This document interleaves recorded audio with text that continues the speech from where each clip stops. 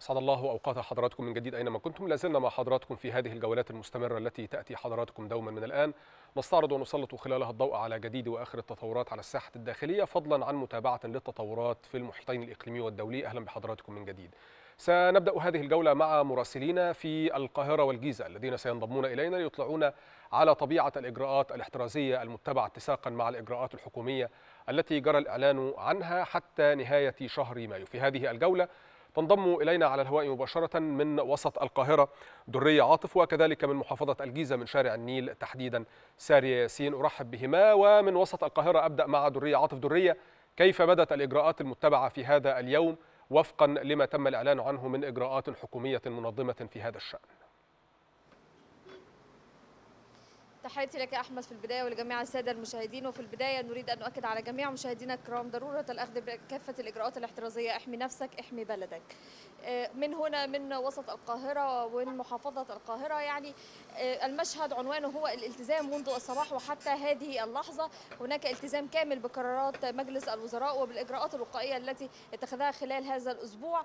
المشهد لم يختلف عن الأيام السابقة أو عن اليوم. في الصباح هناك التزام كامل أحمد من المواطنين وأيضا من المطاعم والمنتزهات والحدائق. هناك غلق كامل وأيضا هنا في وسط القاهرة هناك العديد من المحال التجارية والتي أيضا رصدنا التزامها بالغلق الكامل. هناك توقف أيضا كامل لمواصلات النقل العام وربما أبرز ما رصدناه في هنا في وسط القاهرة هو التزام المواطنين بارتداء الكمامات.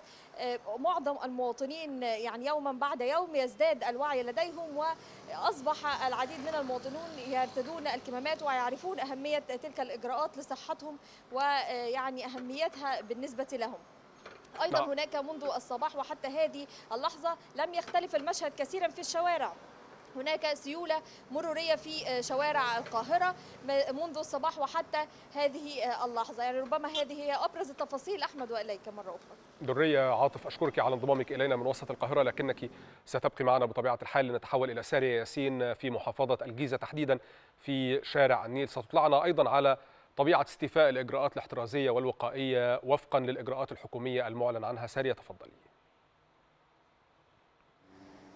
نعم أحمد شكرا جزيلا. كل عام وأنت بخير. تحياتي. إليك. يعني طبعا أنا من هنا من محافظة الجيزة التي نتجول فيها منذ تقريبا بداية الصباح ونرصد أحوال الشوارع. أنا حاليا أو تحديدا متواجدة في شارع النيل في واحدة من المناطق المليئة بالمنشآت السياحية التي اعتادت في هذا التوقيت من العام. أن تمتلئ ب أن تمتلئ بالجماهير بالمواطنين التنزه وحتى يعني التنزه التنزه هنا على شارع كورنيش النيل من قبل المواطنين. كل هذا في هذه في هذا التوقيت وفي هذا في هذه الأيام أيام عيد الفطر المبارك وتبعا طبعا للإجراءات الاحترازية التي اتخذتها محافظة الجيزة واتخذتها الدولة ككل يغلق تماما كورنيش النيل في الصورة من خلف أحمد. إذا كنت ترى هناك يعني غلق كامل للكورنيش من يعني هناك أيضا توزيع لعدد كبير من أفراد الأمن متفرقون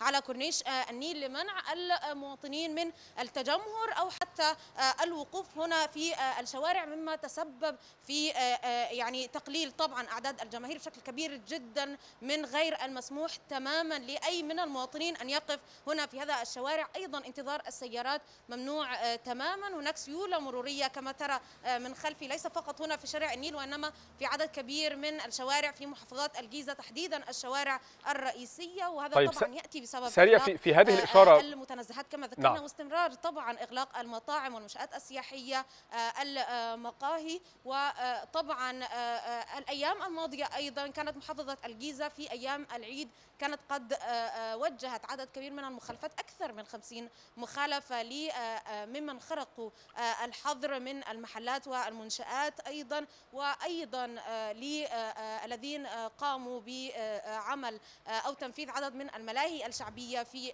الشوارع منعوا أيضا ذلك تماما. طبعا أيضا إيقاف المواصلات وسائل المواصلات الجماعية والعامة وحتى الخاصة تحديدا أيضا الموجودة هنا على كورنيش النيل مغلقة تماما. ذلك أيضا كان سبب في تقليل أعداد الجماهير. طبعا نكاد لا نرى مواطنين يعني يسيرون في الشوارع رغم أن الجو جيد جدا نعم. والأجواء جيدة جدا منذ الصباح الباكر. أخيرا يعني نهيب المواطنين بالحرص على سلامتهم واتخاذ كافة الإجراءات الإحترازية لحماية أهاليهم وحماية وطنهم من انتشار فيروس كورونا.